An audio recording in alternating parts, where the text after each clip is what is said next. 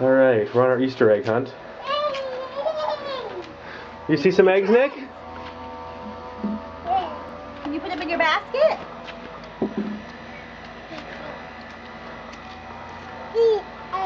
Good job. Come on, Ryan.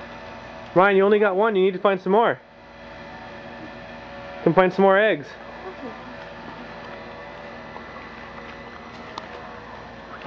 Here's one. Good job. All right. You find any more, Nick? Go get him, Ryan.